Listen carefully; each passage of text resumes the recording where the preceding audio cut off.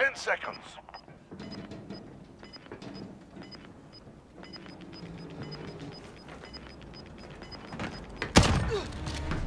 They're hurting. Let's send them home.